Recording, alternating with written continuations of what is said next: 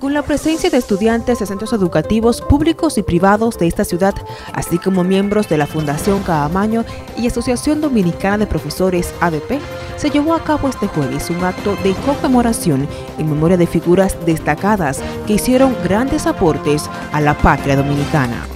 San Francisco de Macorís, con sus instituciones, la ADP, el Club Gregorio Luperón y la Fundación Camaño, ha convocado al pueblo y ha asistido para ser testigo de sección en un momento tan importante de la historia en que nos toca defender la patria.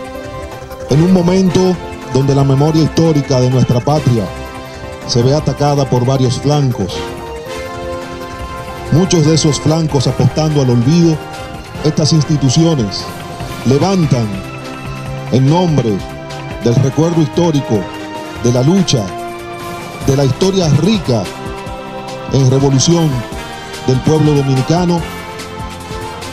Nos encontramos aquí conmemorando la desaparición física de estas personas, entre ellas mi padre, el locutor Chinotén, que aportaron con sus vidas al crecimiento de la patria hasta donde nos encontramos hoy.